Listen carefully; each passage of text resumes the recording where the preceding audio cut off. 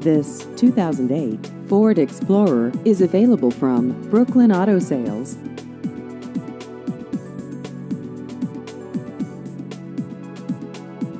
This vehicle has just over 116,000 miles.